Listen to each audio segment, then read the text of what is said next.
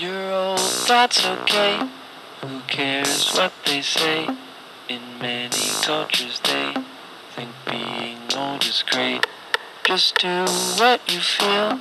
You'll learn how to deal with new problems in your life. You'll do what is right.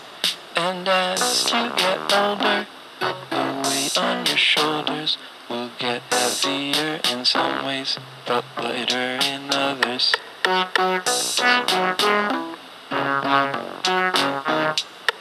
Your sister will grow up, but so will you. She will become a grown up, but you did too. Reflect on your life, your parents and your wife.